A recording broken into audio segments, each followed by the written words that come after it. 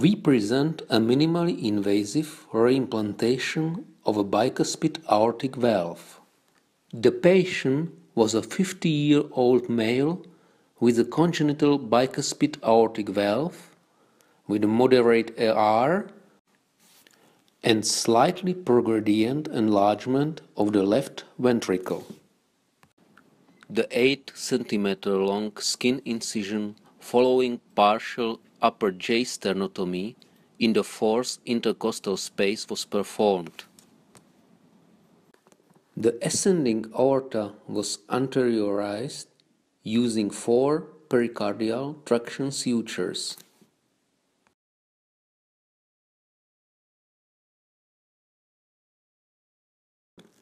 After systemic heparinization, a venous cannula was placed through the left femoral vein punction.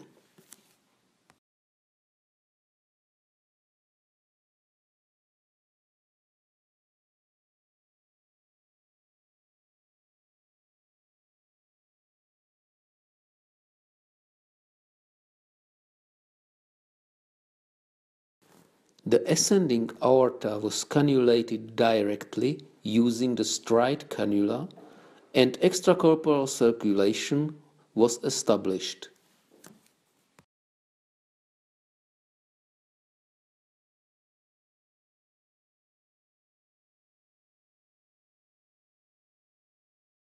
For safe decompression of the heart, the left ventricle vent was introduced through right upper pulmonary vein.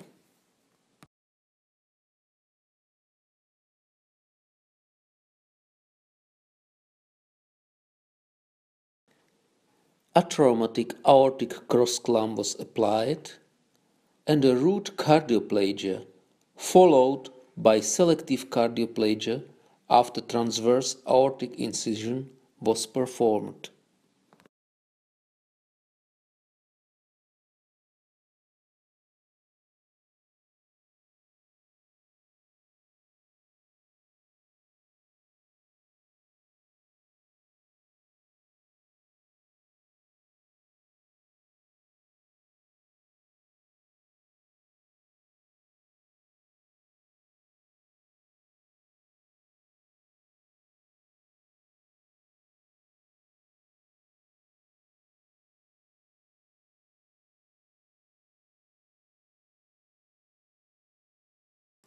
The coronary ostia and the aortic root were carefully isolated and prepared for reimplantation.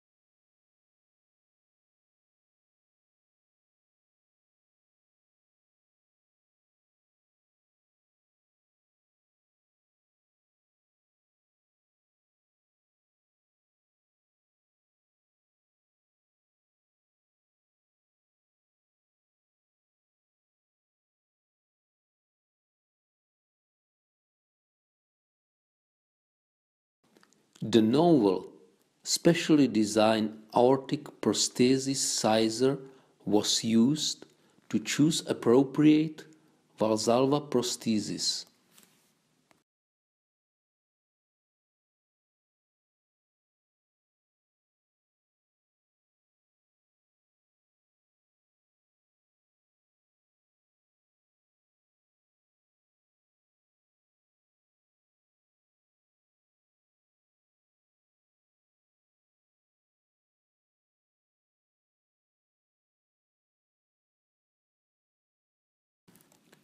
The subannular 2O polypropylene Teflon buttressed sutures were placed.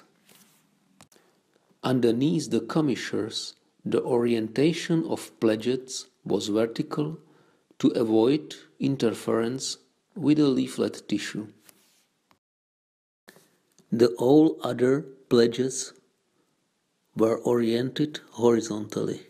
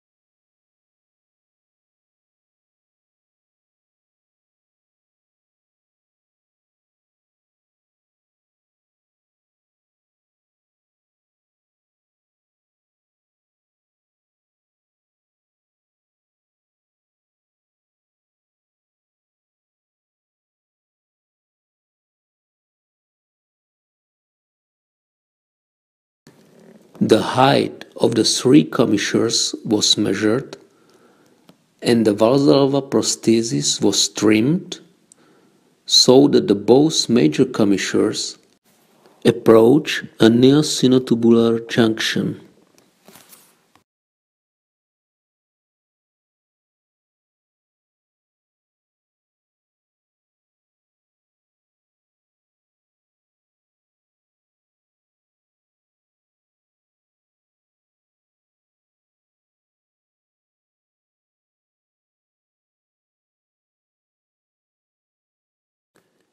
Along the underside of the Valsalva prosthesis, 3O purse string suture was applied to allow adjustment of the ventricular junction post-reimplantation using TEE guidance.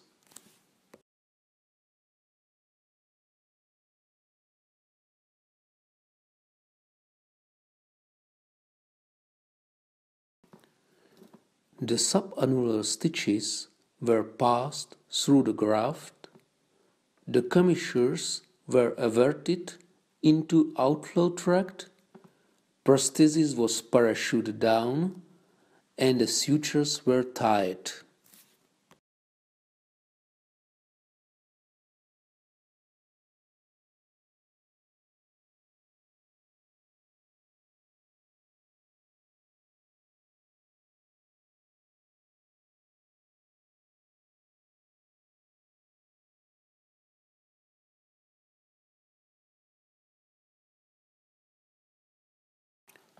Both major commissures were fixed to the near-sinotubular junction using 4O Prolene sutures, and the rudimentary commissure was placed in between, allow 180 grade orientation of the valve.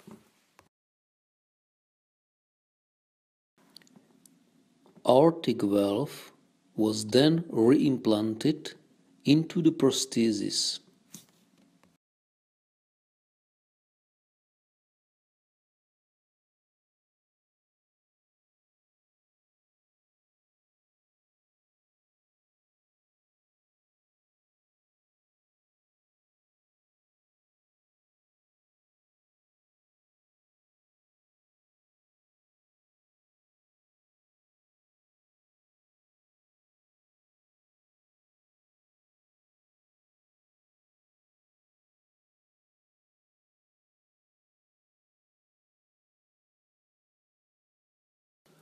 After reimplantation, the repair of the valve using central plication sutures was performed. The aim was to achieve a symmetrical coaptation of both leaflets above the annulus plane.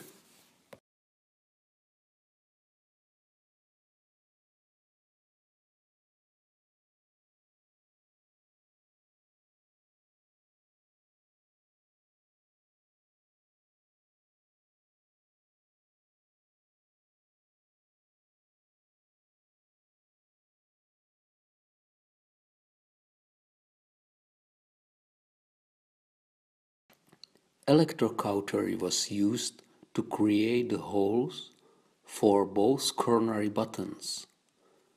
The anastomosis was performed using 5-0 Prolene sutures.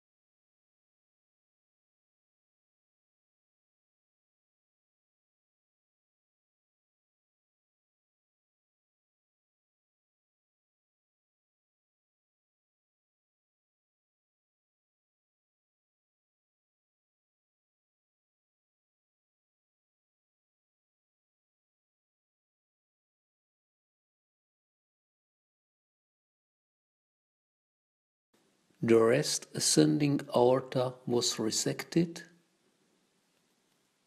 The prosthesis was trimmed to proper length and anastomosed with distal ascending aorta with a 4-0 Prolene suture.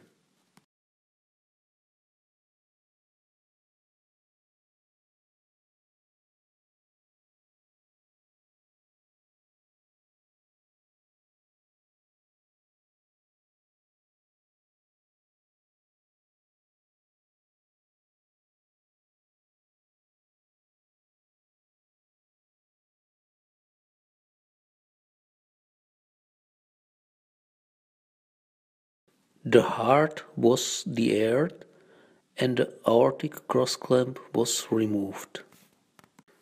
After reperfusion, the patient was weaned from the cardiopulmonary bypass. Intraoperative TEE revealed no residual MR, coaptation above the aortic annulus with the length of 1 centimeter. The patient was extubated three hours postoperatively, required no transfusions, and was discharged at the sixth postoperative day.